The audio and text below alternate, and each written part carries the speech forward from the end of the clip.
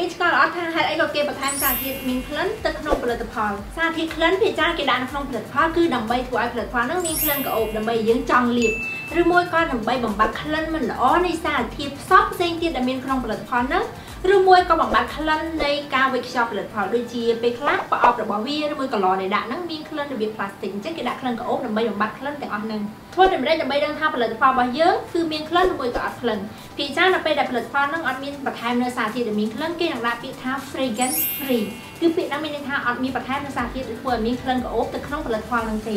គេនិយាយថាសារធាតុដែលបន្ថែមក្លិនសុទ្ធតែជាសារធាតុមិនល្អហើយធ្វើឲ្យអ្នកដែលមានស្បែកងាយផលិតកម្មអត់អាចប្រើប្រាស់បាន បើយើងនិយាយទៅសារធាតុក្លិនគឺប្រៀបដូចជាម្ទេសដែលគេដាក់នៅក្នុងម្ហូបអញ្ចឹងបើសិនជាអ្នកនរគ្នាអាចញ៉ាំម្ទេសបានឬមួយក៏អ្នកនរគ្នាអាចញ៉ាំហឹលបានអញ្ចឹងមានន័យថាម្ហូបដែលហឹលគឺអត់មានជាបញ្ហាសម្រាប់អ្នកទាំងអស់គ្នាទេប៉ុន្តែអ្នកមួយចំនួនដែលគាត់អាចញ៉ាំហឹលអញ្ចឹងម្ហូបដែលមានដាក់នៅសារធាតុហឹលដាក់នៅម្ទេសគាត់អាចញ៉ាំបាន